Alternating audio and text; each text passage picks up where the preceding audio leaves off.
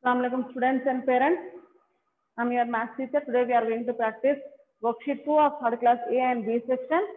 First worksheet, we had given you the basics. Second worksheet also contains basics. In second worksheet, we had given you numbers here. The numerals we had given you. Numbers you have to start writing from 118 to 157. 118 numbers you have to write. Numbers. First section. 118, 119, 120, 121. Like this, you have to write the number till 150. Clear? Next, second section. Numerals we have to write.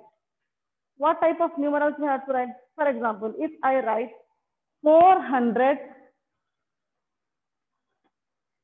400 and 4. How I will write this? First, this is the hundredth place. One, ten, hundred.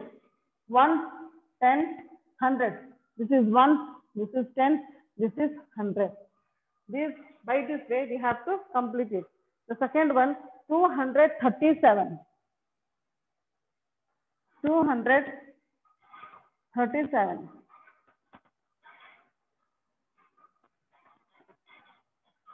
Two hundred thirty-seven. Two hundred. We are not writing two hundred thirty-seven. This is the wrong method. We are using the short form to complete that. Okay. Next, third section is write the short form. Write the short form. For example, if I write 100 plus 70 plus 9, how I should write this? 179. 179. 300 plus 6 is equal to 36. Sorry, sorry. 300 plus 6 is equal to 306. Next, 400 plus 90. 400 plus 90. 490.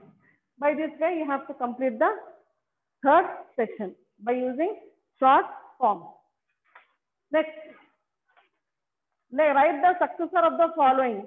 Successor means the numbers which comes next is called as successor. For example, 76, 77, 87, 88, 99, 100. In this way, you have to complete writing the successor numbers also. The last section is you have to write second, third and fourth multiplication tables. I think you all know the table. You have to reread and you have to write tables without seeing in your classwork three times. Okay? By this you have completed the worksheet. Jazakallah.